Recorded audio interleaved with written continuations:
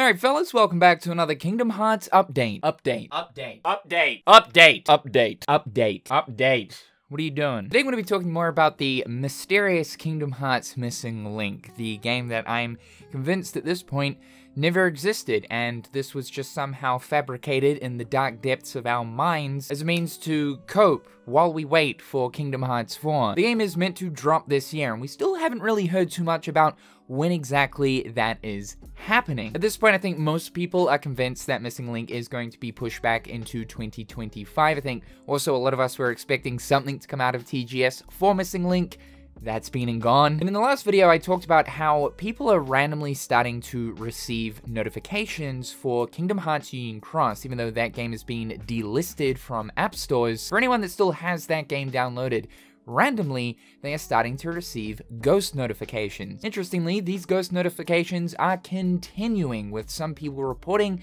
getting multiple of these coming through the app. The theory and speculation surrounding this is that is it possible that Square Enix, as of right now, are testing their notification system for Missing Link through the delisted Union Cross? But the big one here, and I want to thank Samu so much for the tip, is that uh, Kingdom Hearts Missing Link was recently added into an alt app store known as Skitch. Now, when I say alt app store, this is not like a bootleg kind of weird, illegal, underground black market um, alt app store or anything like that. It's very much official, and it's actually a great means of being able to find mobile games to kind of uh, filter it down to exactly what you're trying to look for. I've heard about Skitch in the past, so it's interesting that Kingdom Hearts Missing Link has recently popped up on this. And not just popped up on the App Store, but the actual pre-registration uh, button is now available to tap on it. Now, while the game is not available to pre-register on the iOS Store or Google Play Store, and as well as that, if you go over to the Kingdom Hearts Missing Link website, it still mentions that pre-registration information is coming soon. Randomly, mysteriously, the sketch page has been updated so that you can pre-register. Now, when you tap on pre-register, it doesn't really do anything other than applying to receive notifications on your Sketch account for when the game officially launches. So it's really just a notification bell button to say, hey, let me know when the game is finally coming out. Again, I want to make it very clear that this is a very official app store, and it would also be the only app store that currently has Kingdom Hearts Missing Link listed. Additionally though, the game actually does have a unique description that can't be found anywhere else. I looked over both the English and Japanese Kingdom Hearts Missing Link website, and this one is totally new, as if this might possibly be the description that gets added uh, for when Kingdom Hearts Missing Link eventually gets listed on iOS and Google Play. Set out on an unparalleled adventure with Kingdom Hearts Missing Link, a revolutionary combination of GPS connection and captivating gameplay that smoothly integrates the virtual universe with tangible locations.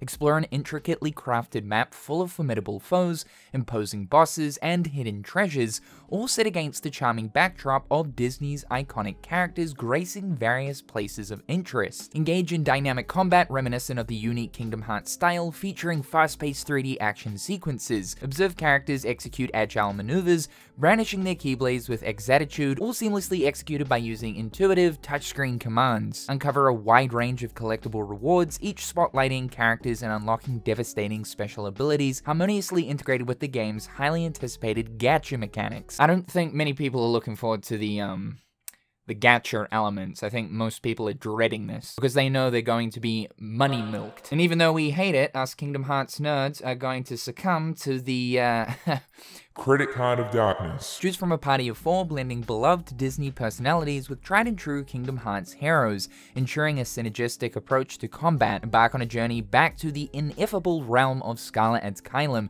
a city of cosmic significance that first appeared in Kingdom Hearts 3, serving as the hub from which all worlds emerge. Plunge into the mystifying astral plane depicted as a domain uniting existence and non-existence, offering an alluring connection to the upcoming Kingdom Hearts 4 location of Quadratum, an otherworldly metropolis existing beyond the boundaries of reality. Missing Link invites you to engage in an unforgettable odyssey that blurs the lines between reality and fantasy, altering the very core of interactive gaming. It's cool with the mention of the connection to Kingdom Hearts 4 there because we know that there is going to be some strings that will go from Missing Link to KH4, just like how UX is important for the future of Kingdom Hearts looking at this new coming saga that will start in KH4, Missing Link is also going to be important as well. Tetsuya Nomura has mentioned that characters that appear in Missing Link will appear in KH4. So it's cool to get the actual official mention even though we know that, like, if you've been paying attention to some of the stuff that came through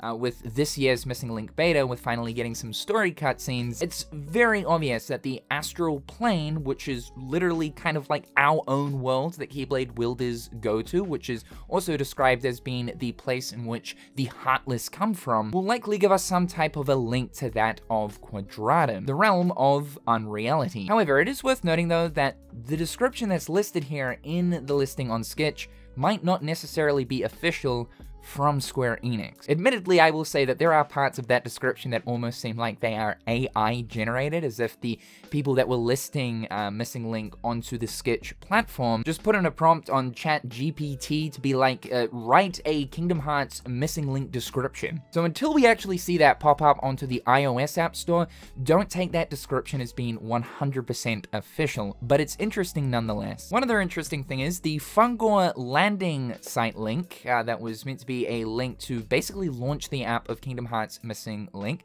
Uh, that was never meant to be found by the public. It was a developer link has been removed. So whenever you try to click on the link, you now get a server error message. So there's definitely some kind of strangeness happening. I think all of this stuff that's happened recently towards mobile related Kingdom Hearts stuff and Kingdom Hearts Missing Link, especially with Union Cross being completely delisted across all app stores back in September, it definitely does allude to the fact that Missing Link's silence will hopefully sometime, very soon in fact, be broken. Color me surprised though if it actually does come out that Missing Link will be launching sometime in November or end of October or December, just any time this year, because at this point I've pretty much made up my mind that this game is well and truly pushed into 2025, looking at about springtime for that of Japan and the US. And what's funny is, you know how bad the Kingdom Hearts drought is when you're actually excited to get an update from Square Enix to say, hey guys, the game is delayed. It's not coming out this year. Because yes, even though this is a mobile game, there's still some excitement behind it for me personally. It's definitely closer to a traditional Kingdom Hearts experience compared to something like Union Cross. Union Cross. So that if Square Enix needs more time, absolutely take it. The thing they have to work on is communication. When you update the website five months ago saying that pre-registration information is coming soon, most people expect that anywhere from a month or two is when pre-registration will begin. Now guys, just some food for thought. I think there is probably something happening either way. If the game is coming out sometime soon or rather in 2025, we should at least hear something towards Missing Link very shortly. Thank you so much for tuning in, fellas. Be sure to subscribe to the channel to keep up with everything going on here. Check out my other social media platforms. A big thank you to my wonderful Turkey-tastic patrons. I hope you're all having a fantastic day, and we'll talk real soon.